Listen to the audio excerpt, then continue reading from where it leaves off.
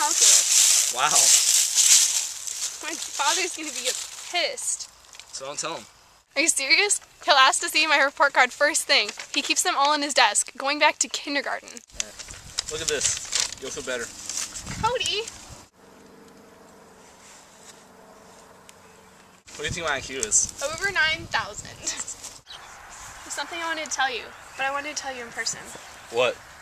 They're sending me to Dover. Dover? It's a private school, Cody. You mean you live there? Yeah, it's in Vermont.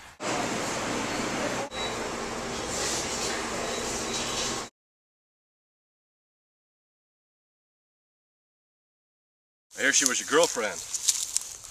Who told you that? The way this works is, I ask the questions, you answer them. We broke up. Losing such a bright, beautiful girl, my guess is made you a little bit crazy in the head. Might even be a possible plea agreement down the line. I don't understand what you're saying.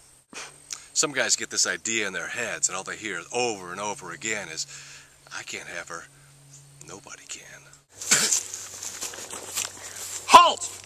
Halt! Halt, or I'll shoot!